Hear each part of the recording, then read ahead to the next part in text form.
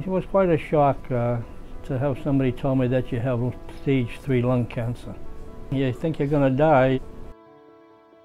Anytime you have to go through a health crisis like this, I think it's not easy.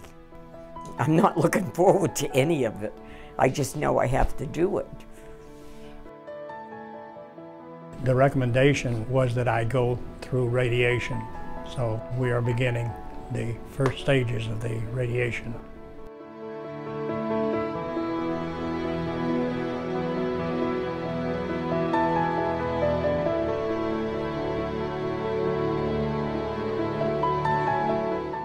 Radiation therapy plays a very important role in terms of cancer care overall.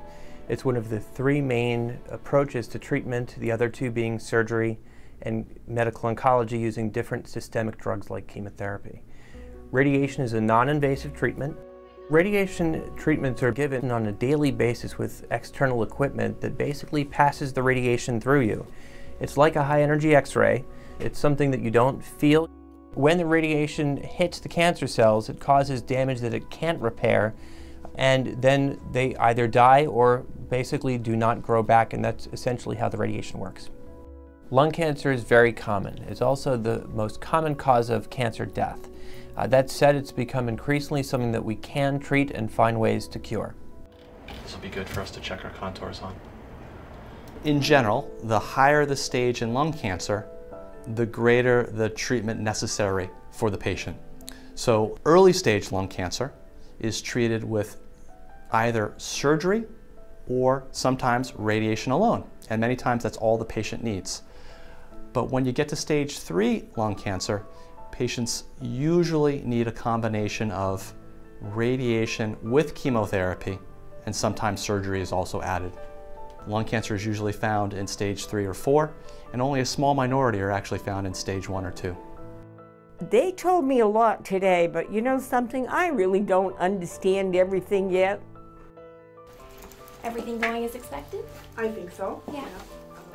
When you first come to the Radiation Oncology Center, it's very helpful to bring somebody with you. Another set of ears to hear the information is always very valuable for you.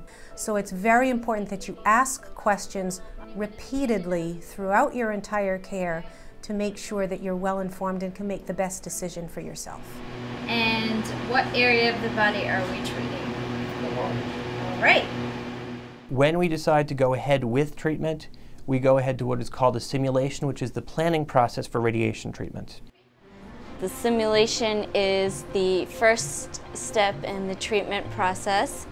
It is where we determine the treatment position. We take imaging of the treatment area and also give the tattoo the markings for the daily treatments. And then we're going to help you lie down. Okay?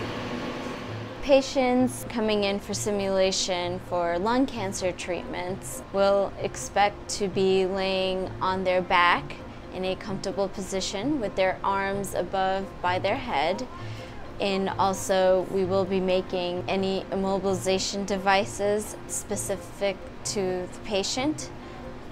The immobilization device helps with positioning and reproducibility of their treatments. How's that feel on the top of your head, Jim? Good? Patients will receive tattoos as their markings for their daily treatments. All done. It helps them align for their treatment. These tiny markings they're giving on their sides and also in the center of their chest. That's the most inferior right there? Yeah, yeah. Okay. Once the patient is in position, we will do a CT scan to take images of the treatment area. So the physicians and the dosimetrists can use those images to make the treatment plan to determine the treatment fields and the treatment angles and dosing. We are going to treat right across the suture line. A medical dosimetrist is a professional that works with us as part of a multidisciplinary team to help ensure that the radiation dose delivery is in the safest way possible to cover what we want to for treating the cancer and to limit the risk of any side effects for normal parts of the body. When we do the treatment planning, we look at the patient's tumor in a three-dimensional fashion. At the time of simulation, we can also do a special scan which incorporates the patient's breathing into the planning process. And by doing so, we can actually see how the tumor moves as the patient inhales and exhales.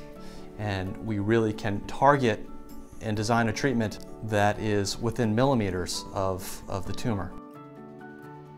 When a patient comes in for their daily radiation treatment, their radiation therapy team will do a double check, make sure that it's the right patient, the right treatment, and then they're going to be put into the same position as their simulation, which is a reproducible, comfortable position that was established on their first day. You feel like you're in there good?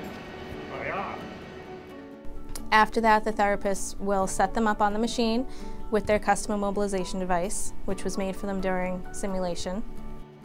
Patients will be uh, uncovered from the waist up wearing a gown and we are always mindful of their privacy so we will uncover as needed.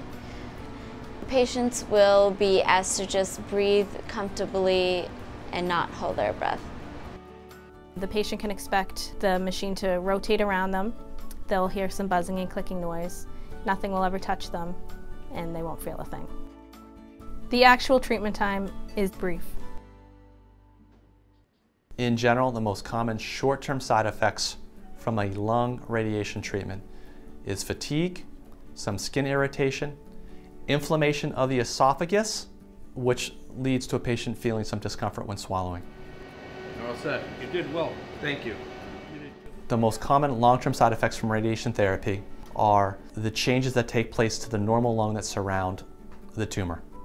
So some patients feel some short-term worsening shortness of breath.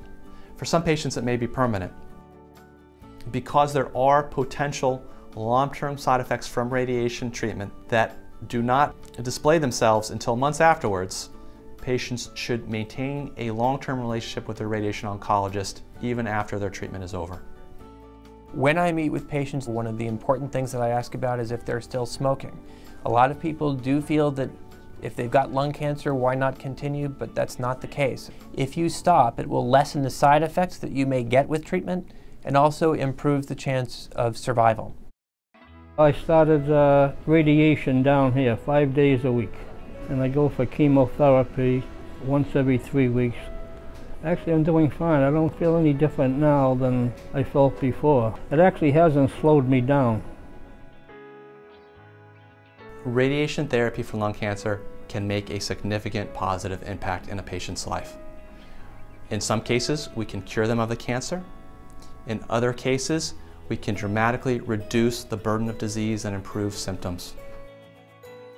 We recognize that nobody wants to be here, but we want the patients to know that we are here for you to fight this battle with you.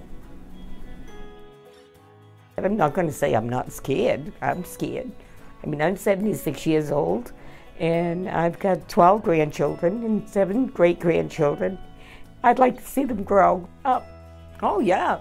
You bet I'm going to fight. I'm going to try with all my might to stay alive.